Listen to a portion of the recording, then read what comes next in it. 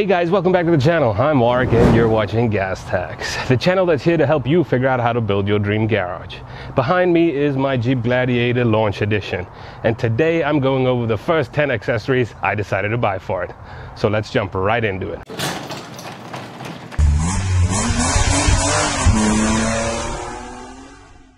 So guys, thanks a lot for tuning in. If you're new to the channel, thanks for stopping by. Be sure to leave me a like and subscribe if you like my content.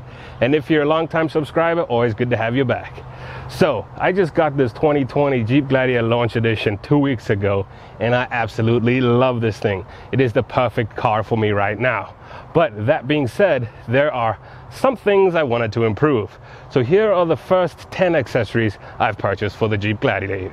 So first off on the list, I got myself a keychain. There's a leather handled keychain with a hook. I do a lot of boating in the summer and I don't like dropping my keys into the water, so I always make sure I get a hook for my keys. That baby cost me $13. Next up on the list is a bulletproof phone mount with a GoPro mount as well. I figure I'll be taking this uh, Jeep Gladiator on some road trips, so great to have a, a mount for the camera. But also I got the passenger side mount because the auxiliary plug-in for your phone is on the passenger side, so that should be a great accessory. That was $79.99. Now one of the great reasons about the Jeep Gladiator Launch Edition, it's fully loaded and it comes with that 8.4 inch LCD. Uh, one thing that I don't like about that is you can see the fingerprints. So luckily I found a screen protector that apparently reduces the fingerprints. So Let's see if that works. That baby sent me back $10. Next off, I got a grab handle tray. So right in front of the passenger front seat, there's the grab handle. This is just a little tray that slops in there so my wife has somewhere to put her phone. That sent me back $13. And number five on the list is a Lock're Down center console gun safe. There's two reasons for this. I do plan on removing the roof and the doors and leaving the, the Gladiator like that all the time. So it's also great to have a steel safe in the car. And then I do go to the gun range every now and then, so it's great to have an actual gun safe for the Gladiator.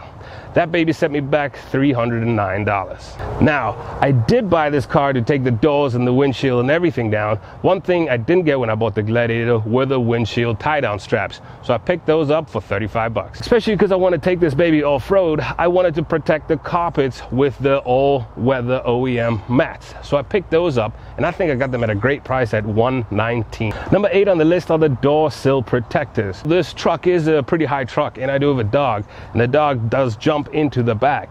Uh, one thing he does do is he rests his paws on the door sill before he decides to jump in.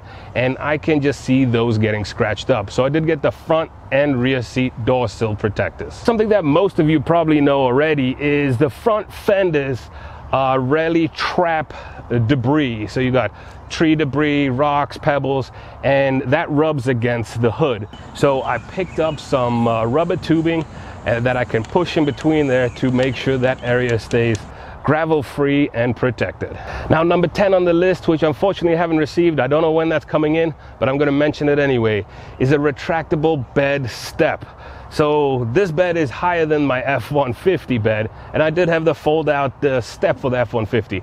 Yeah, maybe that's a grandpa step, but guess what? I'm a big guy climbing up here. I need some help. So it just pops off the side. I'll put an image down below for you on that, uh, and I think that's going to be a great addition to getting in and out of the truck bed. That sent me back $247. So those were my first 10 accessories I decided to get for the Jeep Gladiator. Sure, there's gonna be more, but hopefully I pointed out something that you might want to get for your Jeep. So there are links below to each one of my accessories I got, and hopefully the pricing stays the same, but always check back, there might be deals.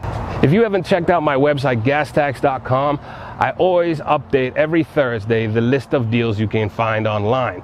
Goes from garage accessories to cabinets to Jeep parts. I will always find deals and list them on there to help you guys outfit your garage or your Jeep.